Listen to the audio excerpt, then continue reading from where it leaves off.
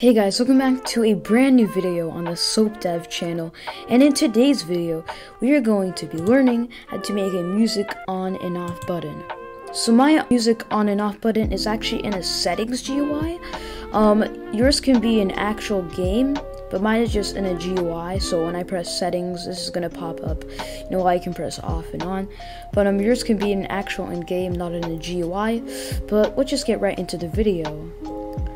So the first thing you want to do is you want to have your music. So pretend you have a game and the music is going to be running in the background at all times. So have your music, make sure it's playing and looped, and you want to have an on and off button. So I have an on and off button in my example.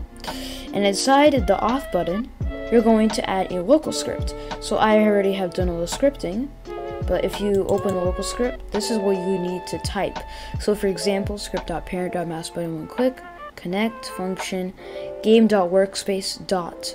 As you see, this is my music name. Um, whatever your music name is, you put it in this dot place, whatever. If your music name has spaces in it, you just want to rename it so it doesn't have any spaces so you can type it. So once you're done with the off button, you're going to start on the on button. So inside the on button, you're going to add a local script.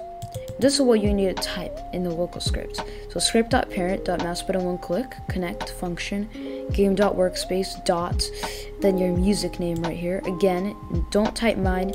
Everyone's name of their music is custom. Once you have wrote that, it should work now.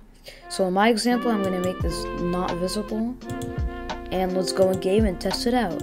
Let's just say I'm just a player, you know, playing the game and I hate this music, right? I want to get rid of it and I don't want to just go into Roblox's settings, turn the volume all the way down. So I would just go into the settings, you'll see here, got music on and off. And again, it doesn't have to be in like a settings UI, you can have it like on screen. But yeah, if I press off, as you see, there is no more music. There is no more music playing. Let's go into settings and turn it on.